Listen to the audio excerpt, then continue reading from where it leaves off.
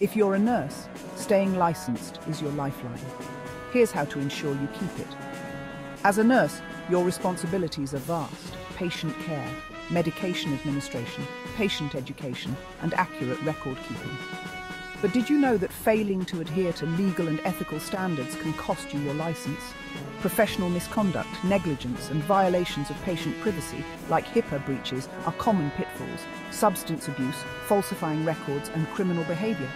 Big no-nos. Regulatory boards investigate these complaints and can impose serious disciplinary actions, including suspension or revocation of your license. Stay informed about your professional responsibilities. Continuously adhere to best practices and legal requirements. Your dedication to these principles not only protects your license, but also ensures the highest standard of care for your patients. Remember, your license is your lifeline.